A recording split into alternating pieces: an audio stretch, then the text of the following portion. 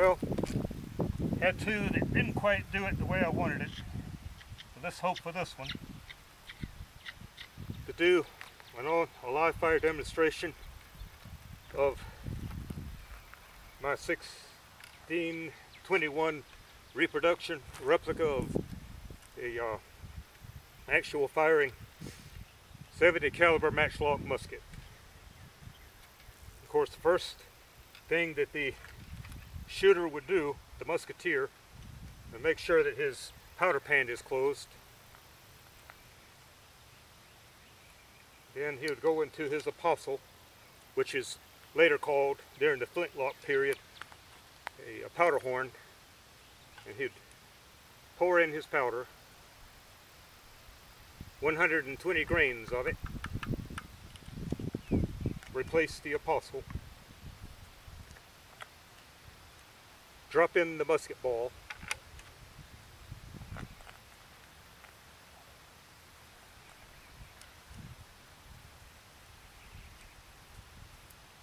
shove down the, the barrel a wad cutter or two to make sure it had plenty of uh, combustion.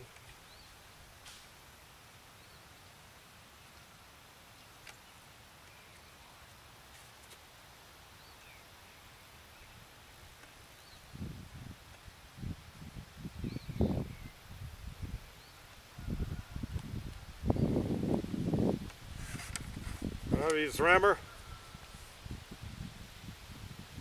shove it home all the way down.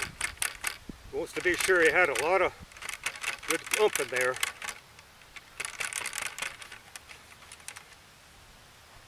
Wouldn't hurt to go ahead and drop just one board for good company.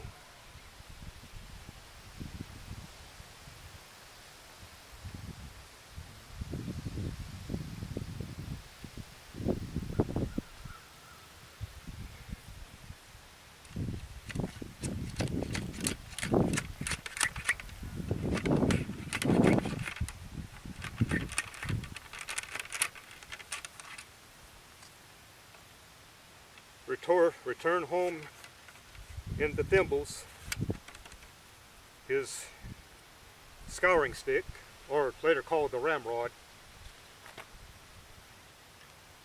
Then in goes the match.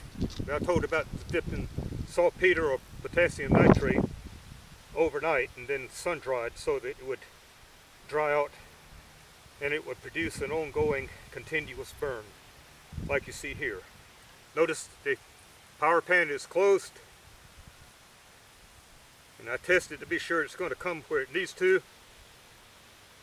There's powder in the pan. Open up.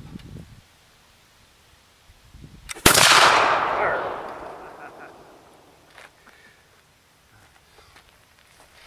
Boy, thing kicks, don't it? Mm.